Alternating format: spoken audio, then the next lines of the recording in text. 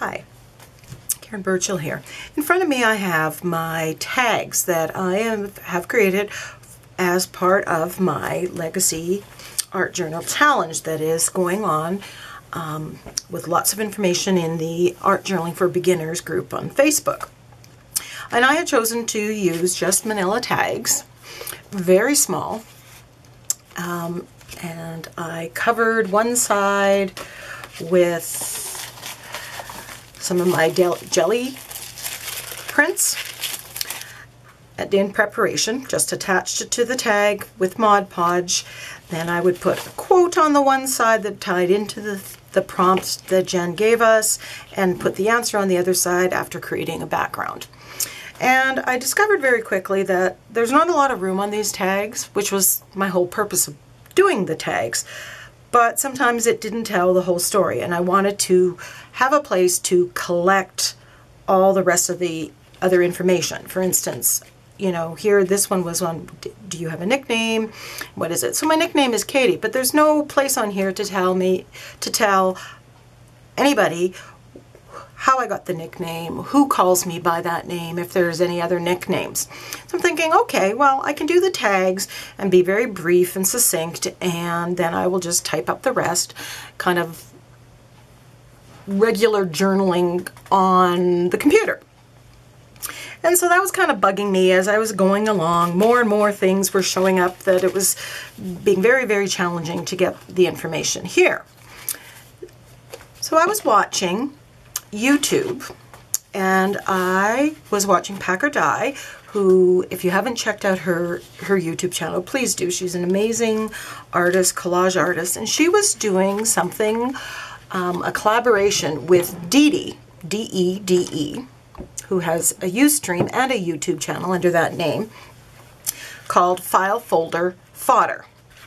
And Dede shows us how to fold a file folder this is just a regular letter size file folder in this way. I'm just going to zoom out so you can get a better look of this. You know, four inches down, one inch down here, fold it so you kind of get this W. And Dede also showed um, in a past project how she combined all 12 of these folders together. So you would have all the folders were together and she bought, made a book cover for it with elastics and stuff and I will have to figure out how to use that. And I like the idea, while they were using it to um, collect um, prints and stencils and stamps and stickers and everything based on a theme. So every month or every week or what month she would give a theme, new theme and then as time went on, you would sort out the different things, and she had different categories. And if you're looking for a way of organizing all your materials for collaging, art journaling, or any other for scrapbooking, anything, it's really interesting.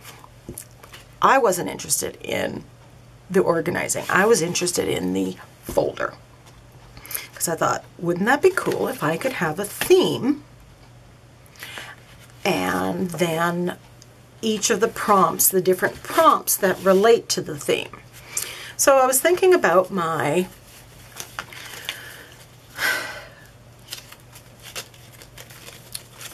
my tags here. And the first four prompts all had to do with my name, different information about my name. Now I was only doing the prompt. I was not doing the lists of 10, although I may reconsider that and maybe including this should I go with this? So all the prompts, what's in a name, that which we call a rose by any other means would smell it. And I thought, okay, if this was all about my name, I could have basically had collage this, done what I did on the tag on this each panel. And then I could just put other information inside the pockets. And then the front cover would be what's in a name or some some inspirational quote. I could put other inspirational quotes if I find them on the back, although I'm not worried about the back. So I thought, okay, I'm not going to redo what I have done here already because I tried really hard to get it on there. So I thought, okay, at some point in time, Jen is going to ask us about our siblings. So I thought, okay, I'm going to try this out in siblings because we don't know all the prompts and or, or categories, but I guess we can predict.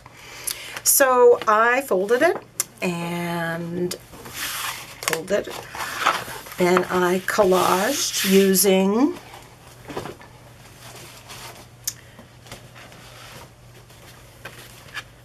just my recycled, mopping up my messes from inks and dyes and paints, all the blues, because I have five brothers. And then I painted this with just plain old acrylic paint to, to go together. I might divide these up yet, I'm not sure. And then I had put all my brothers' names and their birth dates, and I did it by I didn't put them in the order that they were born because I have one brother who had passed away when I was um, young. And I wanted him on here because he's part of my past. And there are memories and I hadn't wasn't sure. So I thought I'm not going to put them in order. And I, I dealt with him and I'll show you how I dealt with that brother. So I put the brothers in there and I think, so every brother, so my brother Andrew, things about him, things about his marriage, things about um, childhood memories that I have, I will either write on a tag or an index card or I have these that I've cut out from from my good friend Yvonne um, little bits of information. I might, I plan on putting something here that's that really refers to Andrew.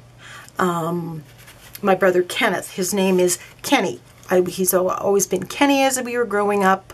Um, Ken as an adult, so that might be up here. My brother Alan is a photographer and he photograph takes pictures of butterflies. He's known as the butterfly whisperer. So I'll put a butterfly here. And my brother, this brother's a banker, so they'll probably have something to do with that. Then any of the information about their marriages, their children, I can just add it into their folders. And if you fold it the correct way, according to Dede, all the information will stay in there. So, and then she has this cool way of sorting them and keeping it with elastics and stuff that you'll have to look into her thing. So I decided I'm going to going to do this. I did a cover page, you know, uh, using a quote because I love art journaling with quotes, inspirational quotes, and it says, our lives, like branches of a tree, may grow in different directions, yet our roots remain as one. And so I did different techniques, some, some collaging here, there are some Inktense blocks, so I put that on there, did the borderline. Then I have each of the pockets. Now this is not complete, I need to do more. Now for my brother that had passed away, and I may do later something a lot about the family members that I've lost, um, kind of a, in memoriam, but I wanted my brother Terry on here. So I made a special tag for him. So he doesn't have a pocket, although he may at some other point in time. He has a very special tag, which I'm going to just adhere in this pocket about my brothers because this is where he belongs. He is a brother. He is part of my thing. And you know, I made it a little bit more special than, than theirs. And then on the other side, I have an angel and the date that he had passed away, that he, that he died. Um, I do want to have a pocket at some point in time to have my memories of him. Um, so I will deal with that in, in a bigger way at some point and time. So that is kind of my plan. So I'm, I'm kind of liking this. Um, each one, you know, the next one might be um, this one was going, I figure the next one I would do, because I know some of the prompts are about your mother, um, your mother and father, and your maternal grandparents and paternal grandparents. And I thought, okay, I would do, I would have all of them together, or just one for my parents specifically, and their stories. And then I can add in, even if I have uh, you know, we, we get together at Christmas or we have a special get together or summer vacation or whatever, even as adults, and I can add it to this. And then all of these would be kept together. So it would be a collection of the past as well as a place to put new memories, whether, you know, written on index cards, the tags with or without the jelly prints on them. Um, playing cards, anything. That's they will go in the pockets. So I hope you um, might consider this idea. I'm, I'm really quite excited about it. I um, will uh, do some work about it. The, the, one of the big problems right now is that we don't know what our prompts are, so it's kind of hard to to guess and figure out what our envelope should be. So until I get that all straightened out, I am going to make more of these. I am going to gesso the front, this part up to the tab, and this part in preparation for whatever process because I thought even if I collage like I did here with the paper napkins um, or putting jelly prints on there if I, that's the way I want to go. I think adding that layer of gesso will make it a little sturdier. It got very, very wet and, and kind of warped. And I'm thinking if I, if I put the gesso, that may prevent it from happening. So, um, thank you for watching. Ask any questions, leave a comment below. I if you haven't tried the Legacy channel or Leg Legacy Art Journal Challenge, um, check out, you know, join, um, Google that, and you'll get to Jen's blog where she um, will email you the, the prompts. Um, and if you're on the Art Journaling for Beginners, you'll be seeing a lot of these on being shown by all the various artists that, that are on there. And there's some amazing things and works of art that are coming. Um, I have to admit that it, initially I was not not overly excited about it. Now I'm getting more and more excited. I'm, I'm using this as an opportunity to start those conversations with my mom and with my dad and aunts and uncles and, and um, brothers and using it as as a motivator to collect all that those bits and pieces of information all in one place which um, will be a legacy to um, my nieces the nephews or or my brothers.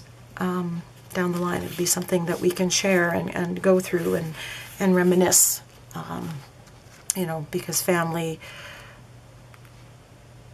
family is everything.